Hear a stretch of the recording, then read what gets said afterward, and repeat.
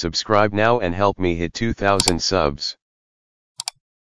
Welcome back to another video. So today I'm going to show you how to get FIFA 21 for free and it can work with any of the games that are digital on Xbox. So with FIFA coming out I thought it'd be a good idea. I've done it before for FIFA 20, did pretty well so I thought I might as well do it again for this FIFA because it'll be pretty useful for a lot of people including me. I've literally done it myself. So um, yeah, so first of all, the first step you got to do is have an account with FIFA 21, but digitally. So this could be your mate, your cousin, your friend or family member, and um, just anyone. Even in the comments, I want you to put down your Xbox name, and if someone's got FIFA, you can log on to theirs and uh, do this method and then um, yeah you can either go half price or even get it for free. Like I got it for free because I'm giving my mate Xbox Live and he's giving me FIFA. So it's worked out both ways. And a lot of people don't know about this method. So the first step have an account with FIFA 21 bought digitally.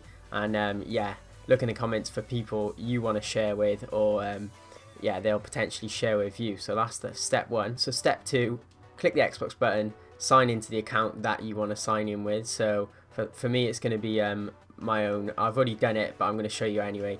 And just log in with your password details there. And um, yeah, so it could be a mate's account right now who's got FIFA or, like I said, a friend.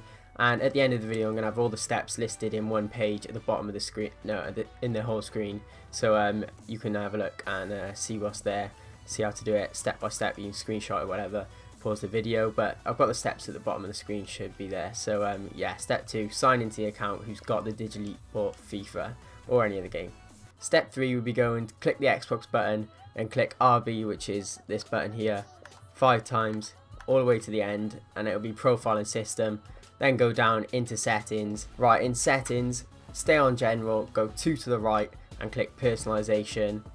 And that's step 4 done. Step 5 in personalization click all the way down go to my home Xbox and click that right, sign in with your password if you need to, if it if it tells you to, and then click make this my home Xbox. So what you're doing there is pretty much making all the digital games become uh, your your Xbox's games as well, without mattering which account uh, you're on. So you can be playing back on your account whilst having all the games of another account's uh, digitally downloaded games. So pretty much click that and then you'll then be able to access any of the digital games that that account holds while signed into any of the accounts on on that specific Xbox. And yeah, that's pretty much it. You can step seven is easy. You're done. You can pretty much go into the store. So click here, go into the store, find the game that uh, they have. You can you can do it another way, but I do it through the store. So I'd search for FIFA. Obviously, mine's already installed. So FIFA 21. There it is, standard edition. Says owned. I've already done it. Um, I know it says uh, join with EA Play there, but I have actually got it. I'll show you now. So you'd you click install there. Um, it will be there. Or another way of doing it, if you would like, is go to My Games and Apps while signed in. You can be on either account. I'd probably go back to your own account and then go to uh, the queue, and it should be there in the queue. Um, FIFA 21.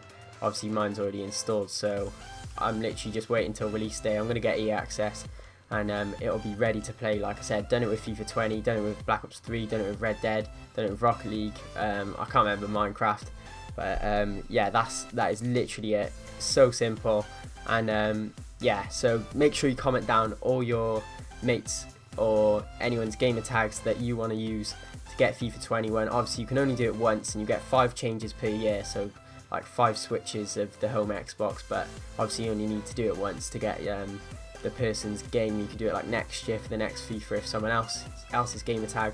Obviously, you're gonna have to privately message to swap your details and then change your password after, so no one's going in and in and out of your account. But if you trust them, then uh, should be all right. And um, yeah, definitely like the video to help uh, massively. Try and get this uh, spread around. Show your mate, tell your mate, tell your nan, and um, yeah, subscribe and help reach 2,000 subscribers. So um, yeah, on the screen now is going to be a list of all the steps one by one. It'll be really easy to follow. I've put it there pretty easily, and I'm even following it myself to help me uh, remind myself. But yeah, um, that's going to be it for this video. If you enjoyed it, please hit a thumbs up and subscribe. Peace.